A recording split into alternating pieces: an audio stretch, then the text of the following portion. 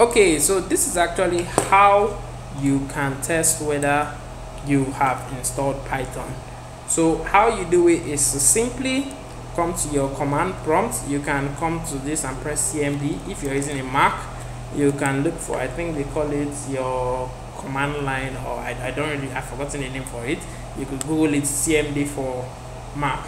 And then what you simply do is to write out python on it and press enter once you press and enter it's supposed to write python and then the version of python which is 3.10 your version might not be the same with mine. You can just use from version 3.6 upward and you are fine to go.